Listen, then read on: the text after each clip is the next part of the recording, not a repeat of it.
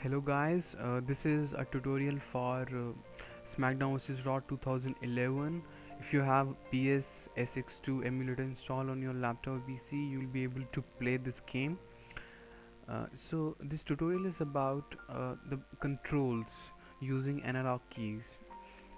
Uh, you may be able to perform uh, many actions using these keys 1 2 3 4 but there are a lot of grabbing tools that are available once you uh, get to know use of these analog keys.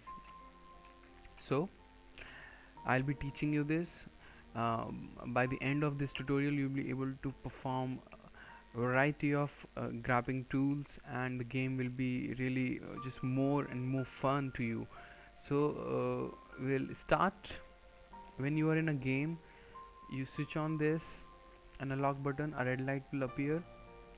Now uh, you will be moving your player using this analog key and you will be performing actions using these as well as the second analog key.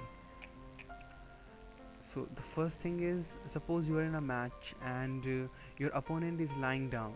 You go towards your opponent and you uh, move your analog key you can move this analog key in either of the direction. You can move it up down right or left. Every direction has some specific move. So when your opponent is lying you go towards your opponent and you move this key analog key in any direction. So suppose if I move it up so your, your player will uh, make your opponent stand or he will uh, perform some action so when the opponent is lying you go towards your opponent and you move this action key. If you move it up you will perform some uh, action.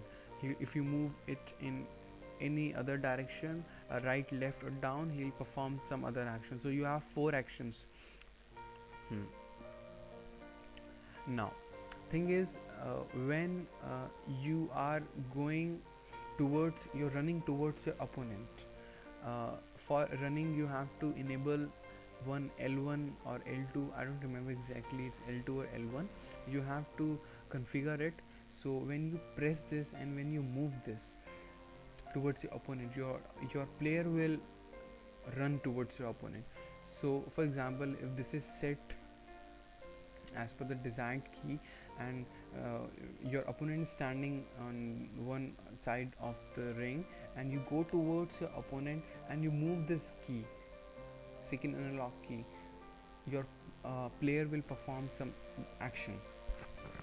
Your player will perform some action. Uh, so similarly you have three more moves to do it. So you have uh, like you are running towards your opponent and then you move this second analog key in any direction your opponent your player will perform some action on opponent. Mm -hmm. now the next is when uh, your opponent is standing and you are also standing. When you go towards your opponent and you move this key your player will grab your opponent. And once he grab you have four moves. Uh, depending on the direction of the analog key you move. So every direction has some specific move. Uh, the next is uh, when you pull your uh, opponent at the corner of the ring. So when you uh, uh, you do it with this too when your opponent is lying you go near to this opponent and you press this your your player will uh, lift up make uh, will lift up your opponent and when you when you will press this 2 your player will uh, move your opponent in the corner of the ring or rather you will push the opponent to the corner of the ring.